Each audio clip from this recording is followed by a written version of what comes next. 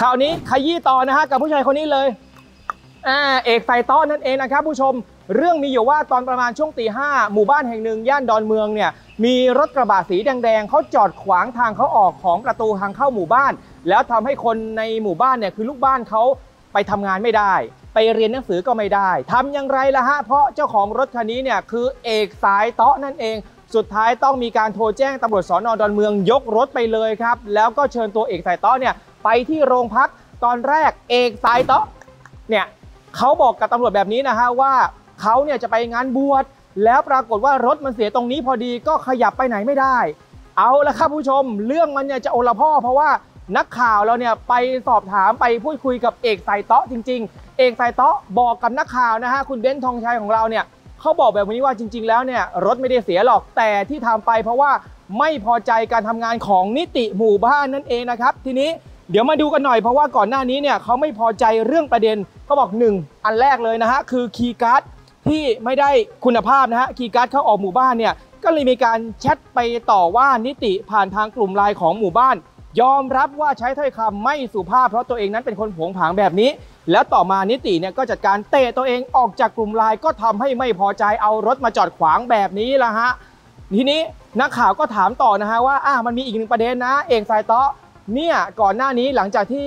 ถูกเตะออกกลุ่มไลน์เนี่ยแต่มันมีกล้องวงจรปิดคู่กรณีรายเดิมที่ไปก่อกวนเขาเนี่ยแหละฮะเห็นว่าเอาขวดเนี่ยไปปาเป็นขวดโซดาเนี่ยไปใส่บ้านของคู่กรณี เอกยอมรับว่าก็ก่อเหตุในภาพวงจรปิดนะจริงๆนะผู้ชมมีกล้องวงจรปิดด้วยนะ ส่วนสาเหตุก็คืออยากให้อีกฝ่ายเนี่ยถอนแจ้งความนะครับอะไปฟังเสียงของเอกสายต้อหน่อยเขาบอกว่าตอนนี้เนี่ยชีวิตเขาลำบากมากๆเลยเนี่ยมีถึงขั้นที่จะขอให้นักข่าวของเราเนี่ยซื้อของของเขาหน่อยนะครับเพราะว่าขนาดเงินที่ไป เป็นค่าปรับที่โรงพัก 200เขายังต้องยืมแม่ของเขาเลยฮะเขาบอกไม่ถอนก็คือตัวเมียบอกไม่ถอนแต่ตัวผัวไม่เคยออกพูดที่ฮาร์ดกูต่อยด่าแม่กูกูให้อภัยไปแล้วบอกนู่นนี่ก็เลยไปถามว่าจะเอาไง อยากต่อยหรืออยากให้อภัย หรืออยากมีเรื่องอยากมีเรื่องได้เรื่อง อยากต่อยได้ต่อยอยากด่าแม่เดี๋ยวกูตบให้กูไม่ด่าแม่ใครหรอก วันนั้นเราสัญญากับพี่ไพศาลแล้วไม่ใช่เหรอว่าเราจะไม่ตบผู้หญิงเราจะไม่ทำผู้หญิงแล้วก็ผมทำนี่ไงผู้หญิงผมรอตัวผู้ไงบอกว่ารอผัวออกมา อ้างอยู่การบินคุยอยู่การบิน ทหารเยอะเหรอแล้วเมื่อวานทหารมาขู่ผมหน้าหมู่บ้าน ถามดูว่าจริงไหมกล้องมีมึงอย่ามาเก่งกับทหารกูทหารเว้ยกูนักเลงเว้ยกูตะโกนลั่นหมู่บ้านเลยทหารก็ทหารเถอะดีกูว่าดีไม่ดีไอ้ต่อยได้ตีเลยจะคนละเล่ม